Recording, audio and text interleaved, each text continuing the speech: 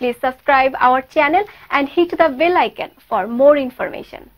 কদম দিলে খোঁপায় চাই না চাই না আনতে পারতে বেলি অথবা হাসনা হেনা বাদল দিনে নেই তো বাদল, সুবাস কোথায় ফুলে?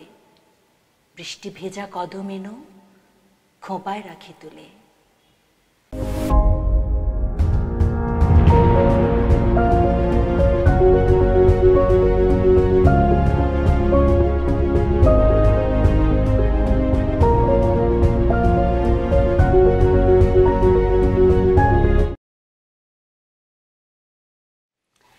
প্রিয় দর্শক, স্বাগত জানাচ্ছি পাওয়ারফসি অনুষ্ঠানে। আপনাদের সাথে আছে আমি সাবিনা সাবি।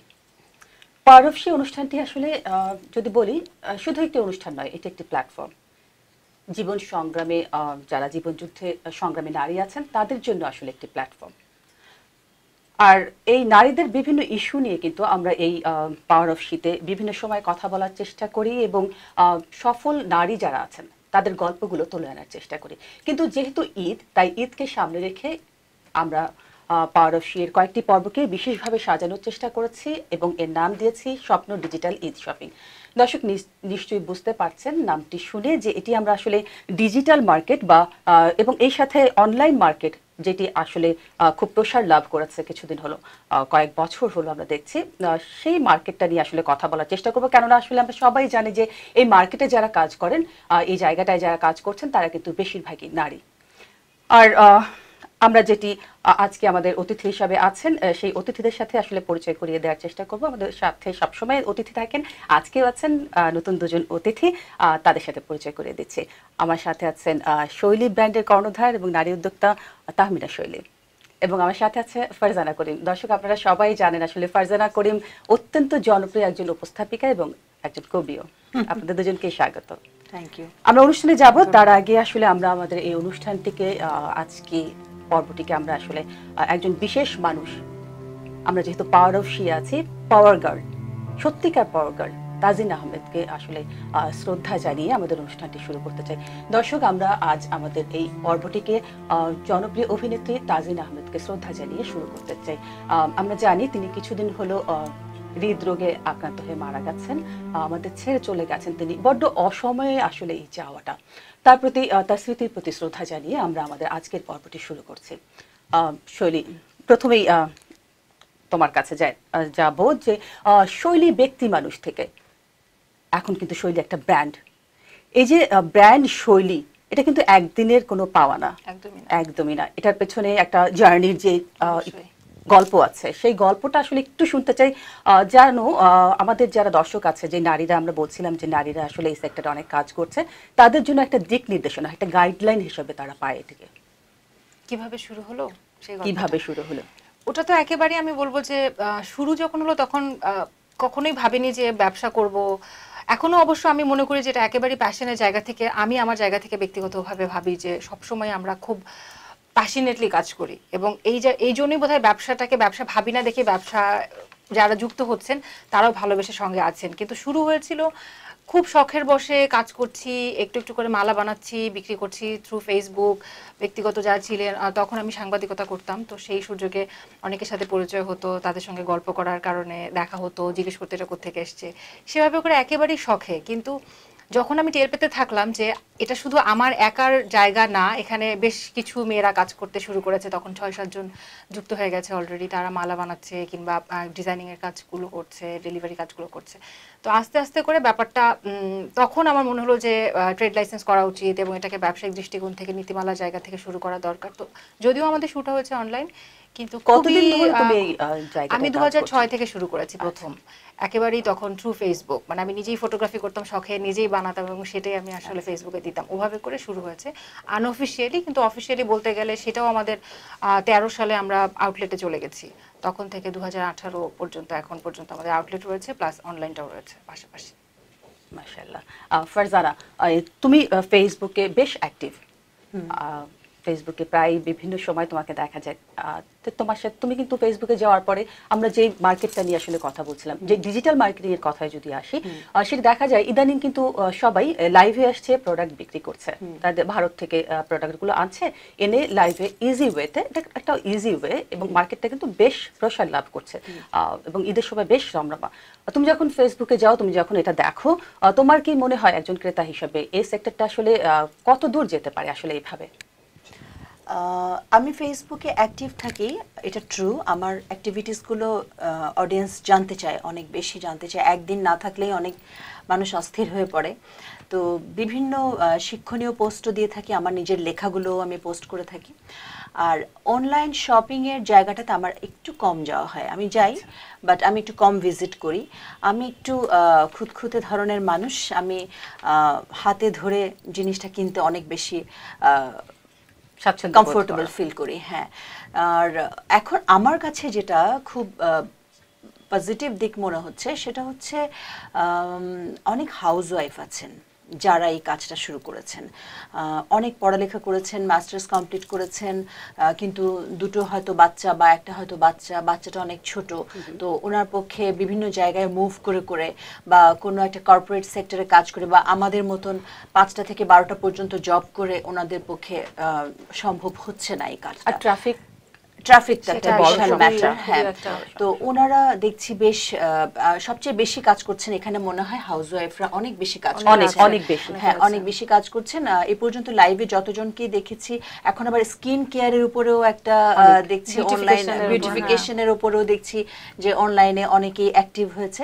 তো ব্যাপারটা একটা ভালো যদি এটাকে আমরা আসলে যে কোনো কিছুই আমরা তখনই ভালো বলব যখন ওটার স্টেবিলিটি থাকবে। এটা তুমি খুব ভালো করেই জানো যে আমি একটা নতুন কিছু স্টার্ট করলাম। You have start a new journey তুমি হাউ লং তুমি এটাকে ক্যারি করতে পারছ? term চিন্তা করা আসলে লঞ্জিবিলিটিটাই হচ্ছে। আসল। এখন যদি দেখা যায় যে অনলাইন প্রোডাক্ট আমি ঠিক মতন ডেলিভারি করতে পারছি না বা আমার অনলাইন প্রোডাক্টটা মানসম্মত হচ্ছে না তারপরে যাদের আমি যারা আমাদেরকে ডেলিভারি দিচ্ছেন তারা আমাকে সেকেন্ড চয়েস করার কোনো রকম অপশন দিচ্ছেন না। এই ধরনের কোনো প্রবলেমসের মধ্য দিয়ে যখন যেতে থাকবে মানুষ তখন কিন্তু আস্তে আস্তে মানুষ আবার ব্যাক করবে।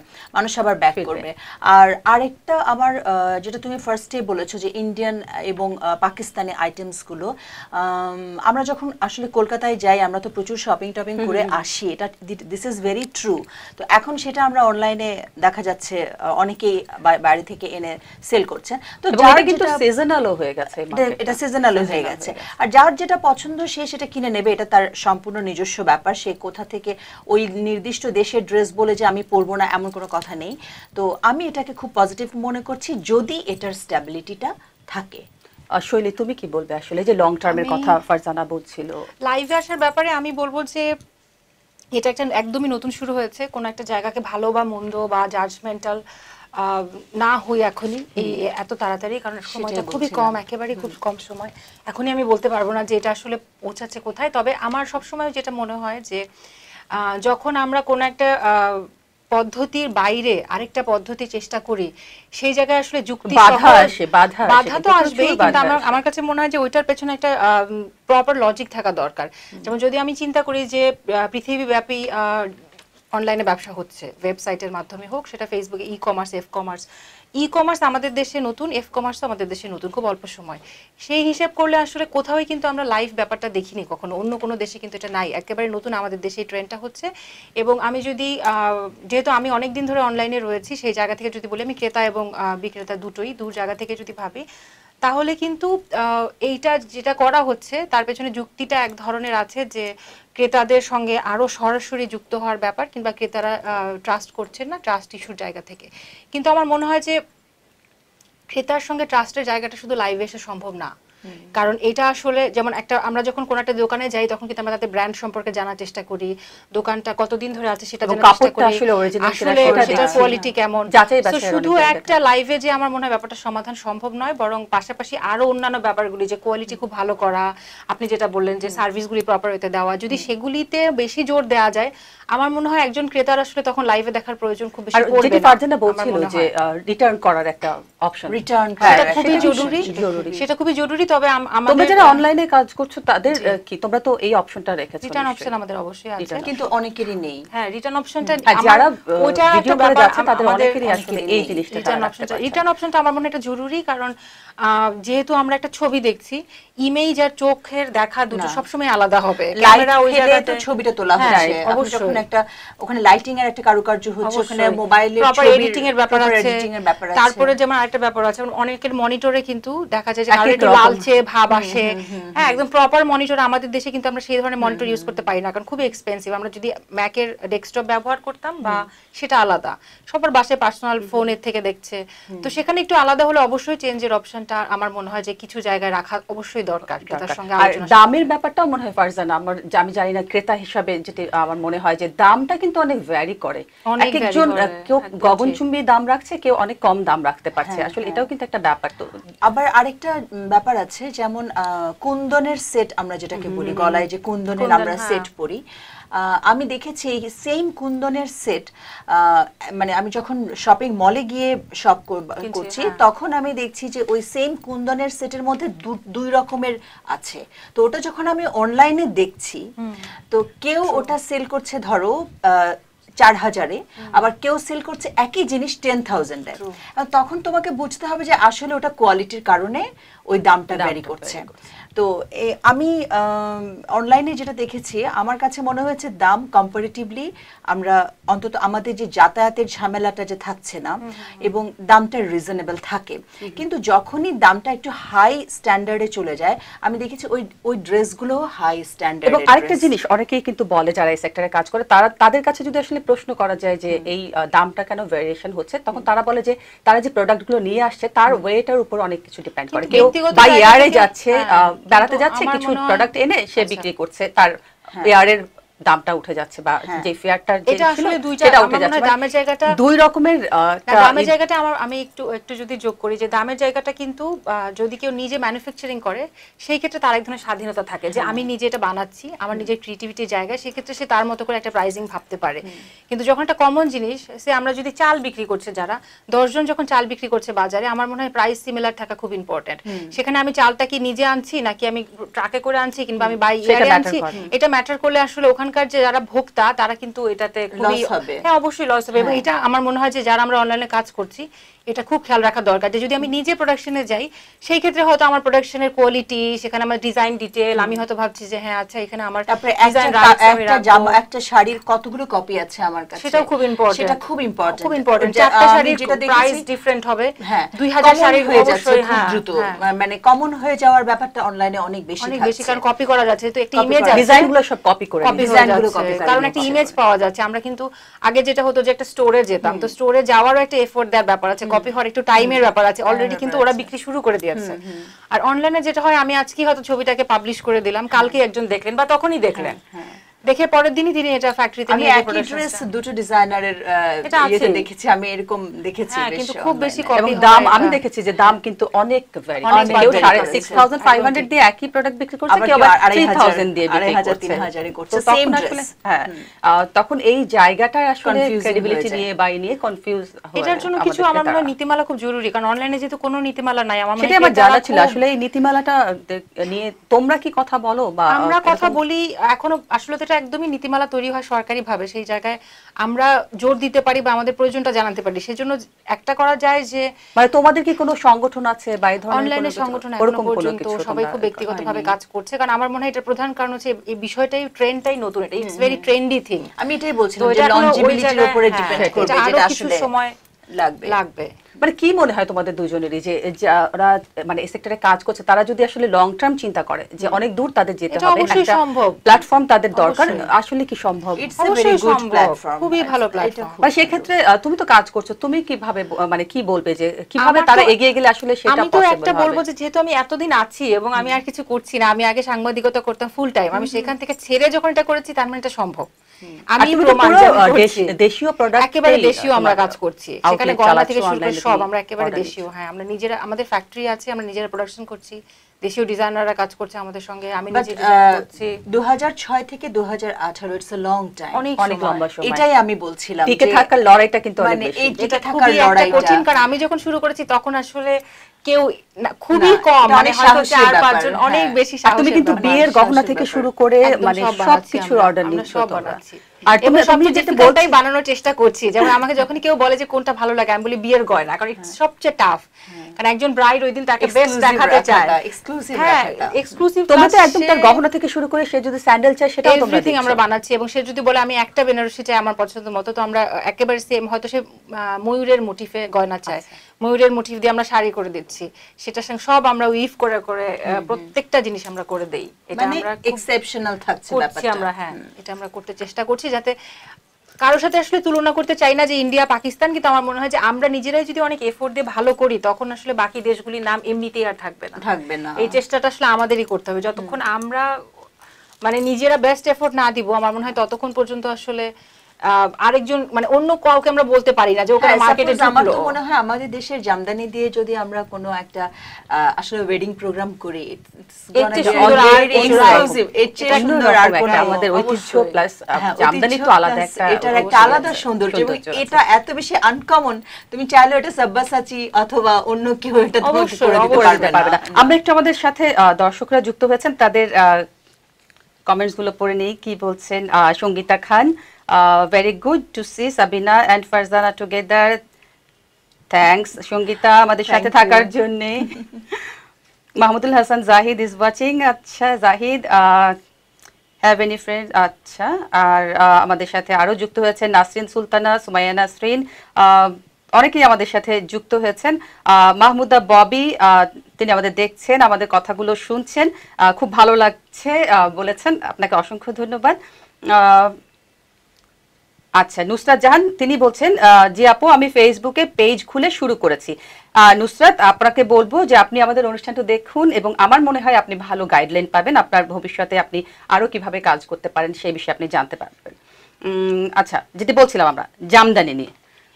জামদানি নিয়ে কথা বলছিলাম যে আসলে জামদানির একটা আলাদা সৌন্দর্য আছে। আমাদের দেশীয় প্রোডাক্টের কিন্তু আসলে অনেকে বলে যে আমাদের দেশীয় প্রোডাক্টটা যখন বিক্রি করে ওটার নাকি দাম বেশি হয়ে যায় মানে বাইরে থেকে যে প্রোডাক্টগুলো এসে তার চাইতে। আমি দ্বিমত পোষণ করব জামদানি তো আসলে উইভ করার মধ্যে অনেক কষ্ট আছে। অনেক কষ্ট। এবং অনেক লম্বা সময় কিন্তু অনেক লম্বা সময় একটা জামদানি হয় সো ওটার দাম আহ, খুব স্বাভাবিকভাবেই বেশি হবে। আর এখনও কেউ অনলাইনে মনে হয় জামদানি নিয়ে আসেনি। কাজ করছে। এখনও খুব অল্প। একেবারে জামদানি নিয়ে কাজ করছে খুব অল্প। মানে আমরা এটা চাই কেবলমাত্র সুতির আমরা ভেজিটেবল ডাইটা দেখছি সবাই করছে এখন। Vegetable dye আহ, চলছে, আবার ভেজিটেবল ডাইয়ের মধ্যে আবার স্ক্রিন প্রিন্ট আর ভেজিটেবল ডাইয়ের মধ্যে দেখছি আহ, আহ, দুই ধরনের হচ্ছে। মানে কোয়ালিটির মধ্যে অনেক ডিফারেন্স হচ্ছে যেটা বলছে সবগুলো vegetable না, অনেকেই dye, হ্যাঁ। কিন্তু ওটা আসলে ভেজিটেবল এটা আমার মনে থাকবে এটাই মজা আমার মনে হয় এটাই সবচেয়ে বড় চ্যালেঞ্জ যারা অনলাইনে কাজ করছে অনেকেই যেমন নতুন যারা করে আমাকে হয়তো জিজ্ঞেস করে যে আপু এত বেশি কপি হচ্ছে এত কনফিউশন হ্যাঁ। তৈরি হচ্ছে আমার মনে হয় এটাই মজা যত বড় চ্যালেঞ্জ তখনই মনে হবে যে তাহলে আমি বেস্ট করতে পারব তখন প্রতিযোগিতাটা অবশ্যই প্রতিযোগিতা দরকার মজার গল্প এখানে বলতে চাই হ্যাঁ। হচ্ছে একটা মেয়ে মিলি ওর নাম দইতা ওর হচ্ছে টিপের কালেকশন ও। প্রথমে টিপ বানাতো। তো টিপ বানিয়ে সে মানে first tried with me then আমি আমাকে বলল যে তুমি শুধু আপু একটা দিন জাস্ট একটু নিউজে পড়ো। তারপর আমি একটা দিন নিউজে আমার নিউজে তো ওভাবে অ্যালাউড না ওরকম টিপ পড়া। তারপরও আমি একটু একটু কারুকাজ করা। টিপ সেদিন যেহেতু একটা উপলক্ষ ছিল আমি পড়েছি। অ্যান্ড এরপরে ওর আর থেমে থাকেনি। বাহ। She started her journey and now মানে ও So you are lucky for her. দারুণ i am lucky for her ও আমাকে সবসময় স্মরণ করে এবং ও কাউকে ছবি পাঠানোর সময় আমার ছবিটাই আগে পাঠায় তো মানে এটাই খুব ইয়ে যে ভালো একটা ব্যাপার আমার কাছে মনে হচ্ছিল যে ও নিজের ভেতরে ভীষণ ফ্রাস্ট্রেটেড হয়ে যাচ্ছিল। She was a housewife. ও পড়ালেখা জানা একটা মেয়ে। ও বলছিল কি ব্যাপার? আমি কি শুধু বাচ্চাকে স্কুলে নিয়ে যাব আর স্কুল থেকে নিয়ে আসব? আমি কি কোনোদিন কিছুই করতে পারব না? তখন ও হঠাৎ করে ওর মাথায় আসে যে টিপকে তো আমি সাজিয়ে একটা কিছু এভাবে করতে মানে পারি। আসলে এই ইনোভেটিভ আইডিয়া গুলো হ্যাঁ। যদি মাথায় রাখে কমন মানে কিছু না করে সবাই করছে ওই ট্রেন্ডে না গিয়ে একটু হ্যাঁ, যদি ডিফারেন্ট কিছু করা যায় আসলে আপনি গল্প করে বলেন কিন্তু আমার মনে হলো এটা খুব আমি একটু কোট করতে চাই যে এই যে সে নিজে ফিল করল সেজন্য এটা হয়েছে। আমরা যে কপি করছি কোথাও থেকে বা কোথাও থেকে এনে করছি ওটা আসলে আমাদের ব্রেন চাইল্ড কিছু না। সেই জন্য ওইটা ওয়ার্ক করবে কিনা আমি ওইটা নিয়ে ভাবছি যে ওইটা কি আসলে টিকবে কিনা। মানে এই আমাদের ভেতর থেকে যারা হতে চায় যারা উদ্যোক্তা হতে চায় তাদের আসলে নিজের পথটা নিজেরই তৈরি করে এন্টারপ্রেনারশিপ হবে। মানেই তো এটা আমি নিজে থেকে পুরোটাই আমার নিজের পথ তৈরি করা। একটা রেডি অনেক বছর ধরে চলছে জাস্ট আমি আনলাম আর আনলাম বিক্রি করলাম। আমি কিন্তু ফিল করব না ওই ক্লোদিংটাও আমি জানি না কিন্তু। আমি যখন একটা পাকিস্তানি ফ্যাব্রিক বিক্রি করব আমার ওটার সাথে কোনো ধরনের বন্ডিং নাই।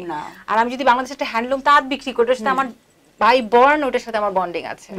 তো আমার মনে হয় এই জায়গা থেকে আসলে যে আমি দেখেছি ওয়ার্ল্ডের অন্যান্য কান্ট্রিজ গুলোতে আমাদের খাদির খুব খুবই চাহিদা আছে, তো খাদির ওপরে আমরা নিজেরাও পড়তে চাই। ইটস ভেরি পাতলা যেটা খাদি ওটা অনেক কমফোর্টেবল সামারের জন্য খুবই সামারের জন্য। খুব ফ্যাশনেবল একটা আউটফিট ওটা যখন বিদেশিরা পরে তো খুবই সুন্দর লাগে। এবং আমাদের দেশেও যদি ওরকম কিছু প্রোডাক্টস আসলে আসতে শুরু করে আমার মনে হয় এগুলো অনেক কাজ দেবে। অবশ্যই কাজ করছে। এখন যেমন আমরা শুরু করেছি শাড়িতে উইভ করছি জুট জুটের টেক্সচার যেহেতু হেভি হয়ে যায় হয়তো আঁচলে ভেতরে একটু স্ট্রাইপ দিয়ে।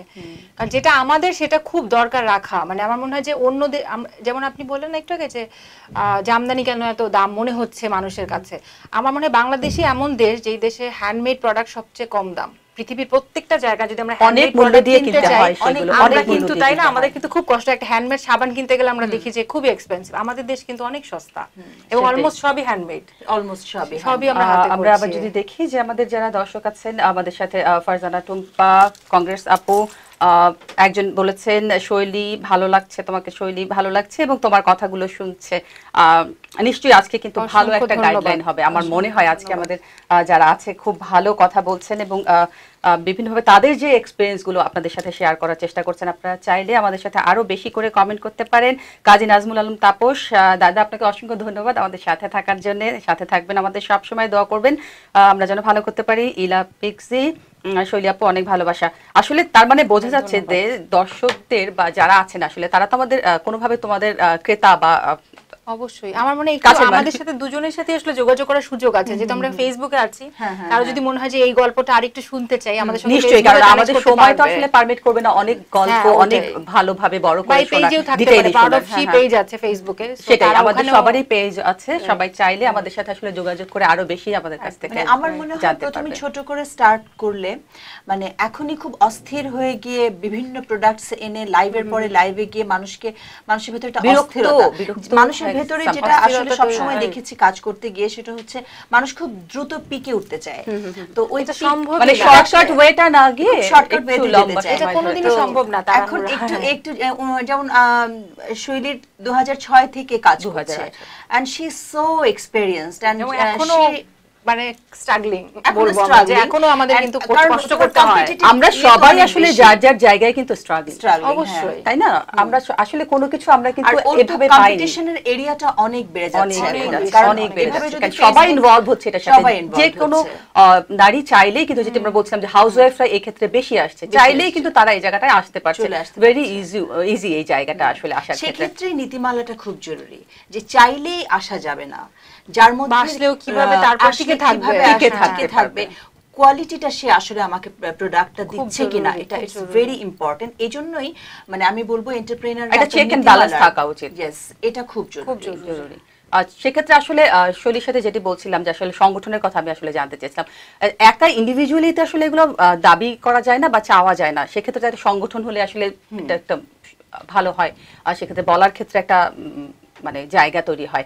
তো সেরকম কোনো চিন্তা ভাবনা কি হয়? আসলে করা হয়? কারোর আমরা তো নিজেরা যারা করছি আমরা হ্যাঁ আমরা নিজেরা যারা কাজ করছি এখন অনলাইনে অনেকদিন ধরে কাজ করছি আমাদের তো একসাথে আমরা বসছি যোগাযোগ করছি সেটা সেই জায়গাটা তো আছে কিন্তু আমার মনে হয় যে আরও হয়তো একটা আমি- মনে করি এটা সরকারিভাবে হওয়া খুব জরুরি কারণ এটা এত বড় এরিয়া এত বড় সেক্টর কারণ এখানে কিন্তু এখন অনেক ধরনের দুর্নীতি হয়। অনেক ধরনের অনিয়ম হয় যেহেতু জায়গাটা বড় হয়ে যাচ্ছে এবং একটা সময় আমরা আশা করব যে এটা একটা ইন্ডাস্ট্রিয়াল সেট চলে যাবে মানুষ বড় প্রজেক্টে কাজ করবে। তো সেই জায়গা থেকে চিন্তা করলে আসলে এটা গভর্নমেন্টের জায়গাটা জরুরি। আমরা যখনই কথা বলি আমরা প্রসঙ্গটা তোলার চেষ্টা করি যে যাতে করে একটা অন্তত এমন নীতিমালা তৈরি হোক যেন মানুষ যখন কাজ শুরু করছে কিছু কাগজপত্র তার থাকা কোনো একটা ঠিকানা থাকা।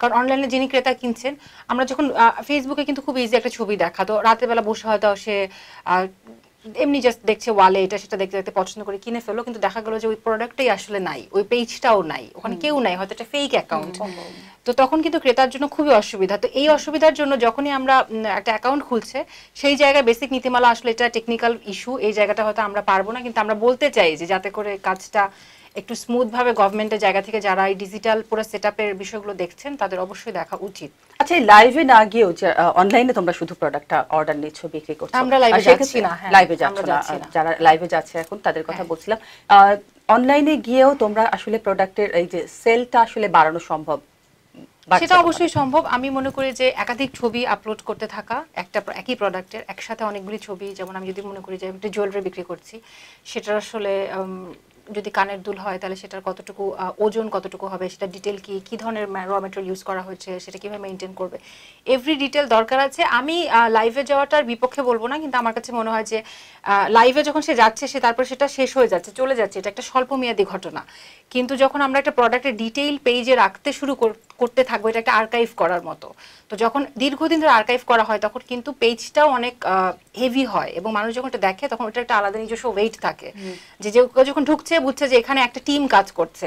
আর যখন কেউ একজন একটা পেজে একা লাইভ করছে আমার একটু মনে হয় যে পেছনে আসলে কত বড় টিম কাজ করছে। আমার কাছে মনে হয় team work is very important যখন আমরা একটা বড় কাজ করি যেমন আমি যে যে কাজ করছি আমাদের এখানে শুধু অনলাইন অ্যাডমিনই আছে এগারো জন। এগারো জন কিন্তু যথেষ্ট পরিমাণ হ্যাঁ, একটা অনলাইনের জন্য। এর পাশাপাশি আমাদের সেলস ডিপার্টমেন্ট আছে মার্কেটিং দেখতে তারা আছে ডেলিভারি প্রসেস আছে প্রোডাকশন আছে। তো যখন এই কাজগুলি ওইভাবে খুব অফিসিয়ালি যেতে শুরু করবে আমার মনে হয় মানুষ বুঝতে পারবে যে এটা একটা অনেকে মিলে কাজ করছে সেখানে ভুল ভ্রান্তি ক্রস চেকের সুযোগ আছে। তো ক্রেতার বিশ্বস্ততা লাইভে হয়তো আছে। আমি যেহেতু করছি না তো আমি এই জিনিসটা নিয়ে খুব বেশি বলতে পারছি না। কিন্তু ওই স্থায়িত্ব থাকার জন্য আমার মনে সবাই হয় কিছু ম্যাক্সিমাম আহ, চলে আসছে এখন। লাইভে এখন বেশি লাইভে এটা নিয়ে মানে আসলে বেশি কথা বলছি এই জন্যই যেন আহ, এটা আসলে লং টার্ম সবাই চিন্তা করতে পারে নারীরা। কারণ আমরা বলছিলাম যে নারীরাই এখানে আসলে বেশি কাজ করছে। তাদের জন্য গাইডলাইন দেওয়ার জন্যই আমরা আসলে এই আয়োজনটা করা মানে লাইভ হোক সেটা রেকর্ডেড হোক সেটা ছবি হোক যেটাই হোক আমি বলব যে এটা অত্যন্ত সিরিয়াস একটা বিষয়। আমরা যেন না ভাবি হ্যাঁ, আমরা যেন কখনোই না ভাবি যে আসলে একটা দোকান নেই বা কেউ নেই দেখে এটা কোনো মতে করে জায়গা থেকে আসলে পেছনে হ্যাঁ, আসা যাবে মানে এটা অসম্ভব দায়িত্ববান হয়ে কাজটাকে করতে হবে। এটা এটা তাকে নিজেকে যেমন ফুল অন রাখতে হবে তেমন বিশ্বস্ততা জায়গাটাও শতভাগ রাখতে হবে। না হলে আরেকজন ব্যবসায়ী ক্ষতিগ্রস্ত হবে। আজকে যদি আমি মনে করি যে আমি লাইভে দশ মিনিট থেকে চুপ করে দশটা শাড়ি বিক্রি করে বাসায় চলে গেলাম কিন্তু হয়তো সেখানে কোনো ভুল ভ্রান্তি থেকে গেল একজন ক্রেতা ঠকে গেলেন উনি কিন্তু আসলে বিশ্বস্ততা হারিয়ে ফেলবেন পুরো অনলাইন সেট আপের উপরে। তা আমার মনে হয় এটা আসলে প্রত্যেকটা মানুষের যারা আমরা অনলাইনে কাজ করছি প্রত্যেকের রেসপন্সিবিলিটি তো সেটা সে লাইভে আসুক কিংবা না আসুক আমি বলব যে ওই জায়গাটা রাখা যে এ ক্লাস প্রোডাক্ট সাপ্লাই করা ডেলিভারি সিস্টেমটাকে স্মুথ করা ক্রেতার সঙ্গে খুব পজিটিভ থাকা এবং সৎ থাকা। কোনো কিছু নাই থাকতে পারে যে হ্যাঁ স্টক আউট হয়ে গেছে আমি যেন বলতে পারি ওই সৎ সাহসটা থাকা যে ঠিক আছে এটা শেষ হয়ে গেছে বা এই প্রোডাক্টটার কোয়ালিটি খারাপ আপনাকে আমি দিতে পারছি না আমি হয়তো বুঝতে পারিনি আগে। কোনো অসুবিধা নেই। আমার মনে হয় প্রত্যেকটা মানুষ কিন্তু বলছে এবং বাঙালি আমি বলব যে বাঙালি ক্রেতা আমি তো এতদূর এসেছি বিকজ অফ ক্লায়েন্ট আমি বলব যে ক্রেতারা অসম্ভব আন্তরিক এবং অসম্ভব ভালোবাসেন। আমি আমার ক্রেতাদের কাছে মানে কৃতজ্ঞতা শেষ হবে না কোনো কিছু চেঞ্জ করতে গেলে ভয় পায়। কোনো কিছু চেঞ্জ করতে গেলে বকা দেওয়া ভয় পায়। কয়েকবার চিন্তা করে তারপরে যাওয়া। কয়েকবার চিন্তা করে তারপরে যাওয়া এই জায়গাগুলো হ্যাঁ স্মুথ থাকা ভালো থাকা খুব জরুরি আসলে। বন্ধুত্বপূর্ণ সম্পর্ক করা। বন্ধু হয়তো আমরা না কাজের জায়গায় কাজ করছি কিন্তু সম্পর্কটা বন্ধুত্বপূর্ণ হওয়া আসলে ভীষণ জরুরি। সেটা সে লাইভে যাক কিংবা কিছু কিছু ইয়ের মধ্যে ডিসিপ্লিনের মধ্যে চলে আসলে আমার মনে হয় এটা অনেক বেশি কাজ দেবে। তার মধ্যে ফার্স্ট আমি মনে করি রিটার্ন যেটা পলিসি ওটা খুব জরুরি যে আমি দেখলাম এক রকমের কাপড় কিন্তু আমাকে ডেলিভারি দেওয়া হলো। আরেক রকম। মানে টেক্সচারটা হয়তো আমার পছন্দ হলো এটার না কমপ্লেনটাই কিন্তু বেশি থাকে। সবচেয়ে বেশি থাকে। একটা বলা হয় যখন নেয় তখন হ্যাঁ, ডেলিভারিটা আর ম্যাক্সিমামই দেখা যায় রিটার্ন নেয় না আসলে। রিটার্ন নেওয়ার মতন কিন্তু return নেওয়াটা আমার মনে হয় দরকার। নেওয়াটা খুব জরুরি। তারপর সেকেন্ডলি হচ্ছে যে খুব হিউজ একসাথে স্টার্ট করা উচিত না। একটু ধীরে ধীরে স্টার্টিংটা করা উচিত। আর আমার সবচেয়ে বেশি মানে একটা জিনিস খুব আশ্চর্য লাগে সেটা হচ্ছে অনেকেই আজকাল দেখছি যে শাড়ির ওপরে বিভিন্ন ধরনের ফ্লাওয়ার দিয়ে শাড়িটাকে সাজাচ্ছে। মানে কাঁচা ফুল দিয়ে আর কি। এখন আপনি যখন আসলে টিভি মানে একটা স্ক্রিনে দেখবেন যে আপনার শাড়ির উপরে কাঠগোলাপ দেয়া আছে বা বেলি ফুল দেয়া আছে আপনার টেন্ডেন্সিটাই আপনার মেন্টাল স্টেজটাই চেঞ্জ হয়ে যাবে। আচ্ছা। তখন আপনি তখন দেখবেন যে শাড়িটা হয়তো হালকা ব্লু ওই শাড়ি আপনি দোকানে গেলে এমনি অ্যাভেলেবেল পাবেন কিন্তু আপনি ওখান থেকে অর্ডার করে ফেলছেন। তো এগুলো কিছু টেকনিক দেখার সৌন্দর্য একটা দেখার সৌন্দর্য একটা অনেক বড় ব্যাপার যে তারপর যখন আপনাকে এই জিনিসটা এই প্রোডাক্টটা দেয়া হলো তখন আপনি দেখছেন যে এটা খুব সিম্পল একটা শাড়ি যেটা আপনি হয়তো সামনে দিয়ে গেলে দেশের কাছ থেকেও কিনে নিয়ে চলে আসতে পারতেন। তো এই যে কতগুলো পলিসি মানে এই যে মার্কেটিং পলিসি যেগুলোকে আমরা বলি এগুলোকেই বলা হয়তো মার্কেটিং পলিসি। এই পলিসিগুলো খুব কিন্তু এখন মেনটেন করছেন আমি যেমন বলছিলাম শুরু হওয়ার আগে যে আমরা কোনো মডেল ব্যবহার করি না প্রোডাক্টে কারণ আমার কাছে মনে হচ্ছে যে শুধু প্রোডাক্ট ইটসেলফ বিক্রি হতে হবে। হ্যাঁ। মানে তখন আমি ফিল করি যে প্রোডাক্টটা হয়েছে বা আমার ডিজাইনটা হয়েছে যে হ্যাঁ। ওকে কোনো ধরনের এক্সট্রা ব্যাকআপ কেউ দিয়ে গেল না হ্যাঁ। কারণ আমি যখন একটা বিউটিফুল মডেল রাখব সে আমি হ্যাঁ, একটা সুন্দর নায়িকা কাউকে আনব সে কিন্তু ছেঁড়া শাড়িও হ্যাঁ, ওই মডেলের দিকেই যাবে আপনার। মডেল মডেলের ছবিটা তো তোলা হচ্ছে খুব অদ্ভুত করে একটা পুরনো সিঁড়ি সিঁড়িতে সে হয়তো কিছুটা পা ঝুলিয়ে আঁচলটা এভাবে লম্বা করে দিয়ে বসে আছে হ্যাঁ। ওটাতে আপনি এমনিতেই ইমপ্রেসড হবেন তো ওটা ওই শাড়িটা ও এই যে পলিসিগুলো আমার মনে হয় এগুলো থেকে একটু দূরে সরে এসে বেসিক আচ্ছা। জিনিসটা আমার মনে হয় মানে ওয়েবসাইট আমরা যদি ইন্টারন্যাশনাল ওয়েবসাইট প্যাটার্ন দেখি কিন্তু একদম ফাইট ব্যাকগ্রাউন্ড আর ফ্রন্টে শুধু প্রোডাক্ট প্রোডাক্টের পাশে কিন্তু একটা কলমও এক্সট্রা রাখার কোনো মানে ইন্টারন্যাশনাল স্ট্যান্ডার্ড যদি আমরা ফটোগ্রাফিতে দেখি সেখানে পারমিশন থাকে না হ্যাঁ। নিয়মটাই হচ্ছে বেসিক যে আমি মগের ছবিটা রাখব তাহলে এই মার্কটাই শুধু থাকবে আর কিছু না যাতে হ্যাঁ। ক্লায়েন্ট দেখা মাত্র বোঝে আছে দিস ইজ দ্য প্রোডাক্ট এটারই প্রাইস আর ভাবতে না হয় হ্যাঁ, হ্যাঁ। যদি আমি এটার পাশে এটা ভর্তি কফি পাশে একটা দেখা গেল একটা বার্গার বান বা কিছু হ্যাঁ, তখন নিচে দুশো টাকা তখন মনে হবে আসলে কফি না মাগ না burger it's really tough to identify তো এই জায়গাগুলো আমার মনে হয় তর্ক বিতর্কটা ভালো এই জন্যই দুটারই হয়তো ভালো দিক আছে। কিন্তু আলোচনাটা হতে থাকলে এটা মানুষ তখন ভাববে যে কিছু একটা হচ্ছে এই জায়গায়। নিশ্চয়ই। একজন লিখেছে সঙ্গীতা খান আবার আমাদের সাথে যুক্ত হয়েছে তিনি কিন্তু লিখেছেন যে শৈলীর কথাগুলো খুব ভালো লাগছে। খুবই ফ্রুটফুল ব্যাখ্যাগুলো। তার মানে দর্শকরা আসলেই উপকৃত হবে আমাদের এই আজকের আলোচনা নিয়ে। আমরা নিঃসন্দেহে বলতে পারি আমাদের যে উদ্যোগটা আসলে সফল হতে চলেছে। আমরা কিছুটা হলেও আসলে গাইডলাইন দিতে পারছি। শৈলী আপু শৈলী ব্র্যান্ডের পাঞ্জাবি অনেক আহ, পছন্দের। তার মানে পাওয়ার অফ শীতে কিন্তু পাওয়ার অফ হিদেরও আবার। আমরা শুধু ছেলেদের শুধু পাঞ্জাবি বানাই আর কিছু করি না এটা অনেকের অভিযোগ ছিল। যে ছেলেরা আসে এবং ছেলেরা দাঁড়িয়ে থাকে ওদের কিছু কেনার নাই শুধু তার ওয়াইফাই কার্ডে সবকিছু কিনে ফেলছে। তখন আমরা চিন্তা করলাম আচ্ছা একটু পাঞ্জাবি রেখে দেখা যাক ব্যাপারটাকে একটু হালকা কোনো ভাবে হ্যাঁ। তবু বোধহয় হচ্ছে না ব্যালেন্স খুবই মিনিমাম আচ্ছা তাহলে বড় পরিসরে যাওয়ার ইচ্ছা আমি মেয়েদের না আমি আসলে মেয়েদের জন্য কাজ করতে পছন্দ করি। আমার না এই মানে হিদের জন্য তুমি কি বলবে আসলে? তোমার শীদেরকে সাপোর্ট করতে থাকুক এবং তাদেরকে উৎসাহিত করুক ওই জায়গা থেকে আমি বলব। খুব বেশি করার এখনও প্ল্যান নেই। অনেক বড় ব্যাপার। আমি আসলে মেয়েদেরকে হয়তো বিষয়টা বুঝতে পারি এখনও সহজে। আমার মনে পুরোটা বুঝে আমি ছেলেদের জন্য কাজ করতে চাই। তার আগ পর্যন্ত ধাপ করে মার্কেটে ঢুকে যাওয়ার আমার এখনও পর্যন্ত ইচ্ছে নেই। আচ্ছা এখন আমি আসলে অনুষ্ঠানের শেষ পর্যায়ে চলে এসেছি আমরা কিন্তু তার আগে তুমি আসলে কি বলতে চাও যারা এই সেক্টরে কাজ করছে বা কাজ করতে চায় তাদের জন্য কি বলতে চাও? এটা একটা খুবই কঠিন প্রশ্ন কারণ আসলে বলার জায়গা আমি গেছি কিনা আমি জানি না। শুধু একটা জিনিস বলব যে যারা উদ্যোক্তা আহ, হতে চান বা বিশ্বাস করেন যে আমি কিছু করতে পারব নিজেকে শোনাটা খুব জরুরি যে আমাকে শুনতে পারতে হবে আমার কথাকে এবং আমার কথাকে আমাকে ভালোবেসে যেতে হবে। প্রত্যেকেই না করতে পারে বা সমস্যা আসতে পারে। সমস্যা আসাটাই আমি মনে করি যখনই সমস্যা আসবে, তখন বিশ্বাস করতে হবে কিছু হচ্ছে। না হলে সমস্যা আসে না। আমি যদি বাসা থেকে প্রতিদিন সহজেই বাড়ি থেকে বের হয়ে অফিসে চলে যাই তার মানে এটা আমার চেনা রাস্তা এবং এখানে কিছু ঘটলো না তার মানে এটা আমার হয়ে গেছে ডান। আমি রাস্তাটা চিনে গেছি। কিন্তু যে উদ্যোক্তা তাকে তো নতুন রাস্তা তৈরি করতে হবে। নিশ্চয়ই। তো যত বাধা আসবে আমি মনে করি যে সেই বাধাটা অতিক্রম করার সাহসটা নিজেকে বিশ্বাস করে রাখতে হবে।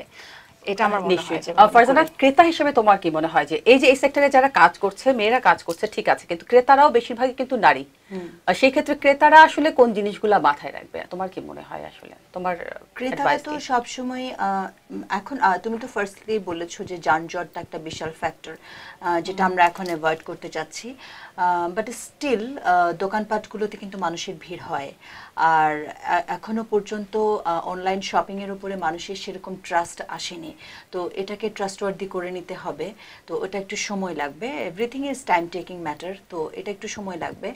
আর আমার আমার মনে হয় যে যারা বেসিক্যালি কোনো কিছুর সাথে ইনভলভ হতে পারছ- পারছিলেন না তারা যদি আসলে ঘর থেকে এই কাজগুলো আরম্ভ করেন, তাহলে তারা ভালো করবেন।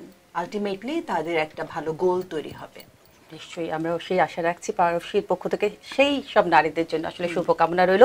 ফারজানা আমরা কিন্তু তোমাকে পরিচয় করানোর আগে বলেছিলাম তুমি একজন কবি। আজকে তোমাকে পেয়েছি তোমার কবিতা শুনব। কিন্তু তার আগে আমাদের হাতে কিছু আহ, বিষয় আশয় আছে গিফট আছে স্বপ্নের তরফ থেকে স্বপ্ন আমাদেরকে আসলে সাপোর্ট করছে এই যাত্রায়। স্বপ্নের তরফ থেকে শৈলী তোমার জন্য অসংখ্য ধন্যবাদ স্বপ্ন তোমার জন্য। থ্যাংক ইউ স্বপ্নকে. অনেক থ্যাঙ্কস অনেক অনেক ধন্যবাদ। কিন্তু আমরা কবিতা শুনব একটু দর্শকদের কাছ থেকে বিদায় নিয়ে আসি। আচ্ছা।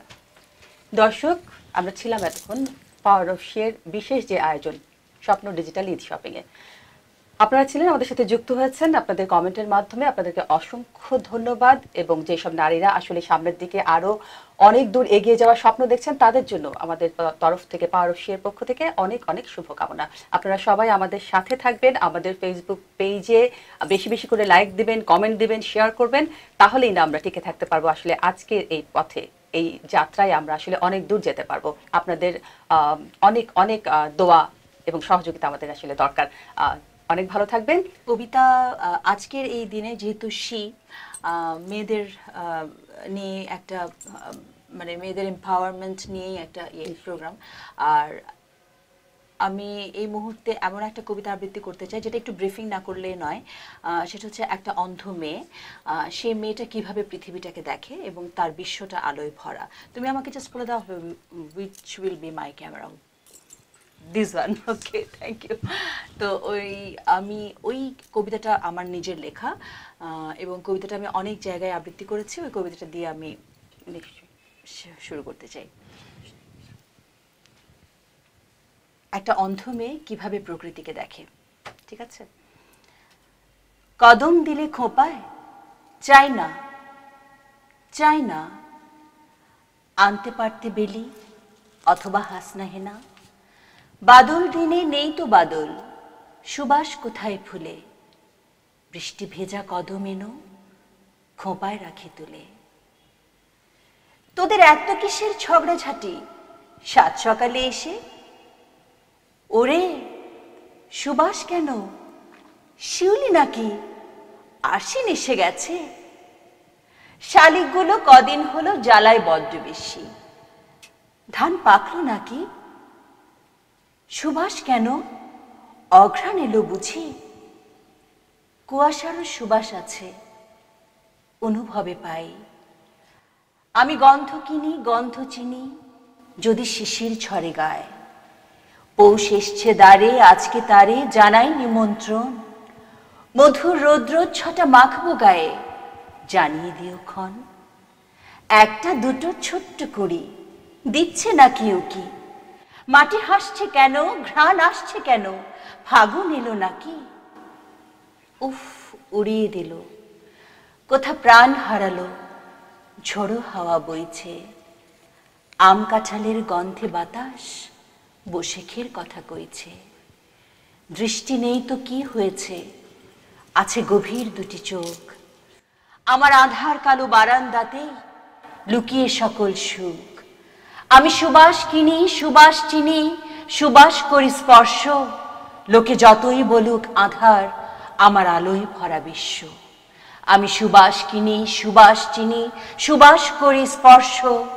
লোকে যতই বলুক আধার আমার আলোই ভরা বিশ্ব। ধন্যবাদ। ভীষণ সুন্দর। ভীষণ সুন্দর। আসলে কিন্তু অনেক সুন্দর।